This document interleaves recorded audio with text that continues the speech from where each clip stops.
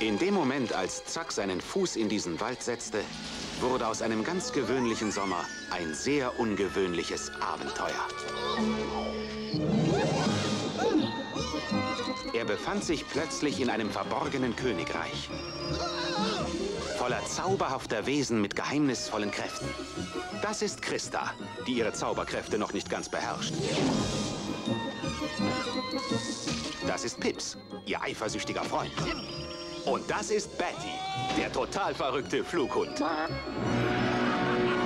Aber nur Zack kann sie alle vor der großen Gefahr retten und das ist Hexor. Er ist das Böse, das ihre Welt bedroht. Kommt mit auf eine aufregende Reise in diese Welt voller Überraschungen, Fantasie und Spaß. Es gilt, ihre wunderbare Welt zu retten. Ferngully, Christa und Zacks Abenteuer im Regenwald.